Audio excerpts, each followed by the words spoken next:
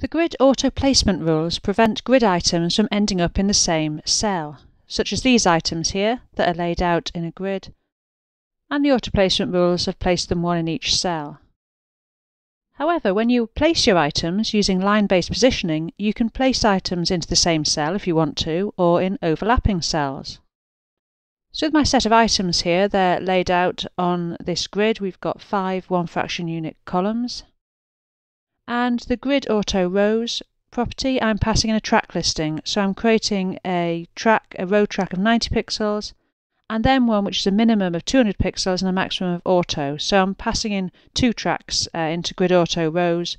So these created tracks in the implicit grid will be alternate 90 pixels and then this 200 pixels or maximum of auto. So if I position these elements on the grid, we can see how we can start to layer these up.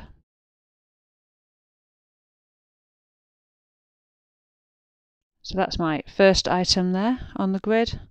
And I'm going to say grid column, line 1 to 3, and grid row, also 1 to 3. So you can see now how that first item is spanning over two tracks of the grid. I've got five column tracks, that's now sort of filling the layout, and we're spanning two row tracks. So that's the initial row track, which is a 90 pixel one, and then this taller one, which is a minimum of 200.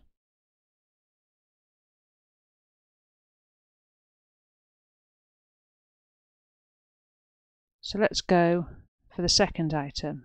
And this one I'm going to say line 2 and line 4 and exactly the same by rows. And you can see now how that's layered over the other item. It started after the gap, after the first track, because this is line 2, and again we've gone after line 2 on the columns. So I can just go through and place my other items. There's item 3, and we'll say 3 and 5 and the same for our rows and then the last item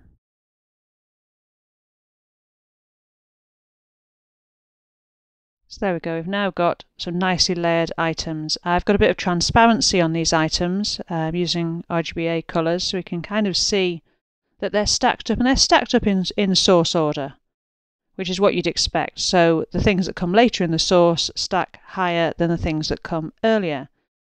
Now you can affect this using z-index. So if we go to this second item here, and let's give it a higher z-index value, and you can see that now how it pops over and sits on top of the other items.